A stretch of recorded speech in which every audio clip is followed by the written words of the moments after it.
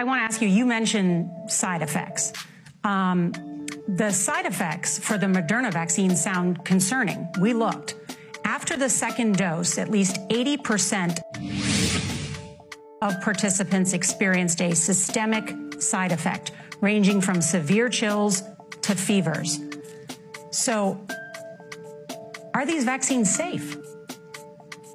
Well, the uh, the FDA, not being pressured, will look hard at that. The FDA is the gold standard of regulators, uh, and their current guidance on this, if they stick with that, is is very very appropriate. Uh, the side effects were not super severe, not super severe.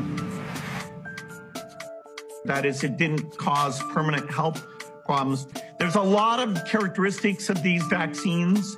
Um, it's great that we have multiple of them. Uh, that are Bill, going out there. And yes, I you, think you know the data better than I do. But the bill, Bill, the, the data shows that everybody with a high dose had a, a side effect. Yeah, but some of that is is not dramatic. Where you know it's just you know super painful. You know it's just you know super painful. You know super painful.